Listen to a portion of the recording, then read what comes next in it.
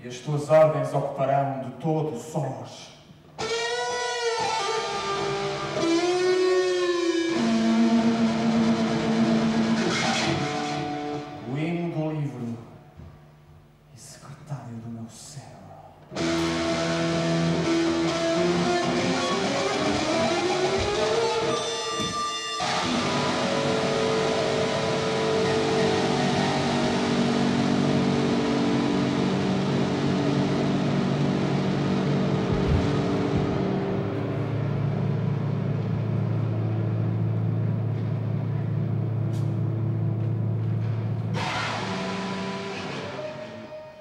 Fundo, o que eu acho que aqui acontece é mais uma, uma revitalização ah, do, do som que ele ah, construiu, da banda sonora, quer há uma parte, uma parte já pré-gravada ah, e outra executada ao vivo.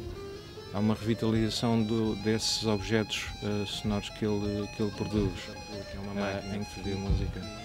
É provavelmente o único compositor que eu conheço que trabalha em teatro que antes de começar a- a- as sessões de leitura de um texto já tem música ah, e que durante esse processo eh, traz mais milhares de discos e o caso deste espetáculo em que eh, o empenhamento dele é maior. Traduziu-se eu hoje ontem à noite depois do ensaio estava a arrumar os CDs em que já está realmente tudo finalizado ah, esse processo e são duas caixas e são duas caixas cada discos. Assume-se como um espetáculo em que não é o, simplesmente um, um aconchego da amplificação de, de- da amplificação da fala é, portanto, um reforço de som é mais uma amplificação completamente assumida, eh, porque é um espetáculo de, de grande escala, pela sala, pelo cenário, por- pelo uso, eh, pelo uso dos microfones de mão, eh, em que há, pronto, não há que esconder que há, existe esse reforço, esse tratamento de som. Eh, de qualquer forma, eh, esse, esse processo da amplificação eh, da fala é bastante antigo, vem da tragédia clássica, tragédia grega, em que se usavam eh, megafones acústicos eh, para fazer chegar em grandes arenas eh, a fala, que era uma prosódia, que era em rima, que era para ser mais fácil de se perceber o sentido de, de cada verso. Missão número um de fazer o texto chegar o mais claro possível receptor. Não invalida que o ator tenha de ter o mesmo trabalho como se não tivesse lá a máquina. De outra forma, o que a máquina está a amplificar é a preguiça e a falta de rigor no texto. A máquina simplesmente amplifica, não, não, não ajunta, não, não contribui com nada. Amplificas, portanto, aquilo que estás a dar é aquilo que faz, só que faz está maior. Simplifica no, simplifica no sentido que aumenta, mas, mas a energia tem que lá estar. E criar de forma este, este Hamlet mais com o Vitor Rua foi, diria, estava a passar agora pela cabeça, como se nós tivéssemos a palavra a nascer no momento do- da criação do espetáculo. Se nós tivéssemos aqui o Shakespeare a dizer o que é que nós tínhamos que dizer, nós em vez de termos o Shakespeare tivemos o Victor, por menor, no momento, em eh, no momento certo, a, a carregar no botão e a sair um som diferente, ser trabalhar efeito, pôr a música que compôs em casa. E que nós nem sequer temos a noção do trabalho que tudo deu, que aparece com aquela capacidade como só o Victor diz, e é capaz de ter, chega cá em alma a mais, uma sequência de detalhes, mais do que uma grande estrutura, temos uma riquíssima sequência de detalhes que são fruto dessa espontaneidade, desse, desse processo imprevisível, angustiante, porque obviamente não, não nos está nas mãos, Eh, surge no momento, com as, com as suas inevitabilidades, mas é, um é uma sucessão eh, harmoniosa de, de pequenos momentos Vitor, podemos ouvir uns, uns seus efeitos na guitarra sem nada, sem silêncio?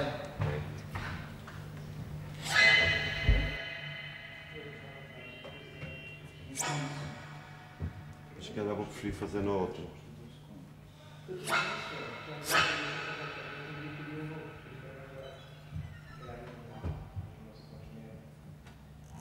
Da pergunta de que os atores sentem ou não que as minhas intervenções musicais são de certa maneira importantes para eles, não só como provavelmente deixas de entradas ou saídas, mas também, e para mim seria mais importante que seja isso que eles se refiram, que os ambientes criados e as situações que são criadas uh, integram-se ou, às vezes, pelo contraste, uh, ajudam-nos a expor as suas ideias, ou seja, as suas palavras uh, do texto.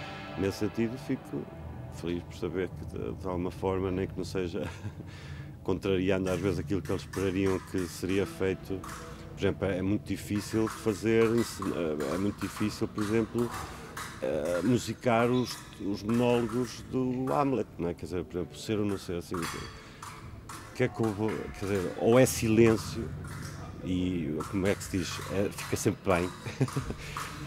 As leituras iniciais ainda à volta da mesa começou-se tudo a falar, tipo presente, uh, as pessoas de luz, de vídeo, tudo. Mas é, agora, independentemente a realidade da sala branca não é a realidade do, depois do espaço físico quando se vai concretizar e eu pela primeira nós todos pela primeira vez de repente estamos a ver vídeos, panos a descer, panos a subir, coisas a...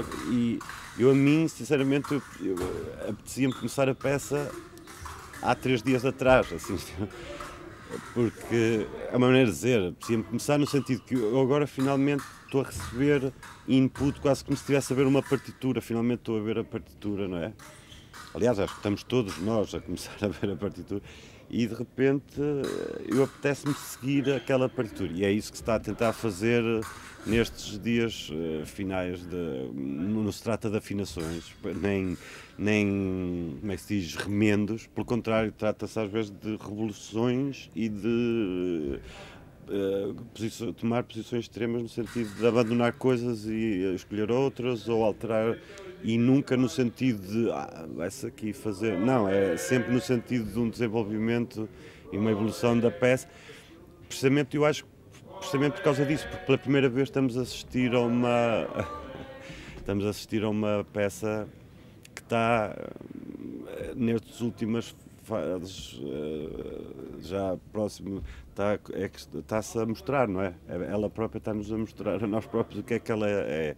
E, e temos que reagir a esses estímulos e tem sido muito intenso e muito forte, mas no sentido altamente positivo, porque só, só faz com que as pessoas reajam rapidamente, eficiente, eficiência, rapidez e energia. O projeto foi construído na Sala Branca, que tem condições acústicas muito particulares, e os atores só até só quando chegaram ao palco é que puderam perceber finalmente qual era o ambiente sonoro em que eles iam criar as suas, as suas, as suas personagens.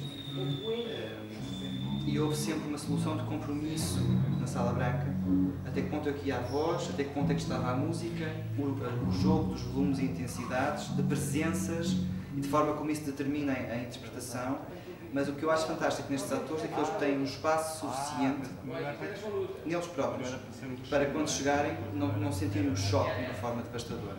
E o Ricardo também já sabe isso, por isso trabalha com estas pessoas. Uh, portanto, chegar a este palco foram três dias de grandes convulsões, mas passar três dias, de repente, fez luz.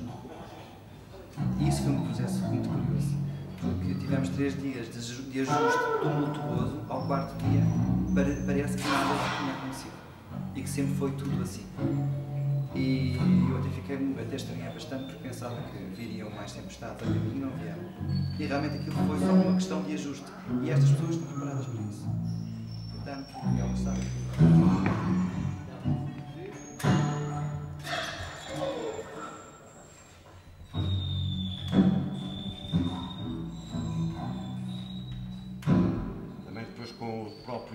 espadas, se calhar, eu posso entrar no ritmo do. Tipo de mídia, fosse seja dança, cinema, neste caso concreto teatro, é sem dúvida o trabalho mais complexo.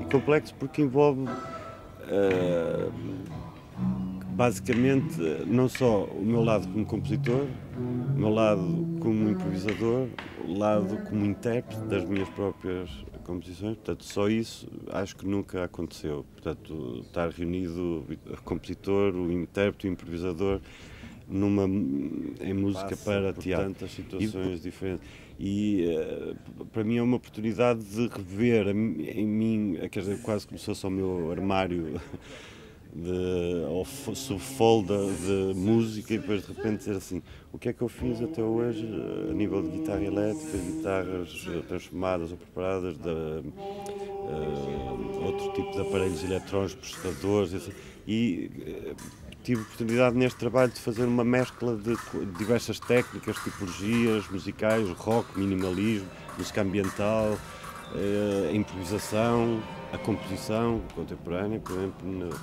e nesse sentido estou muito contente porque é uma espécie de. Vejo nesta peça quase como se fosse uma antologia de, de assim, diversas situações que passaram até chegar. No fundo, é uma síntese. Eu, eu costumo. Há uma frase que eu já não me recordo bem quem é que me disse, acho que foi, não sei se foi o Paul Blee, creio que foi o pianista Paul Blee, que ele, ele utilizou a frase que é ouvir com os ouvidos dos outros. E eu uh, achei essa, quer dizer, na altura a frase entrou e depois ficou, e depois uh, aos poucos fui entendendo ao longo dos anos o que é que isso significa. E isso é muito importante, que é, às vezes uh, uma pessoa está a ouvir, seja determinada peça, eu própria, ou seja o que for, e de repente, muito contente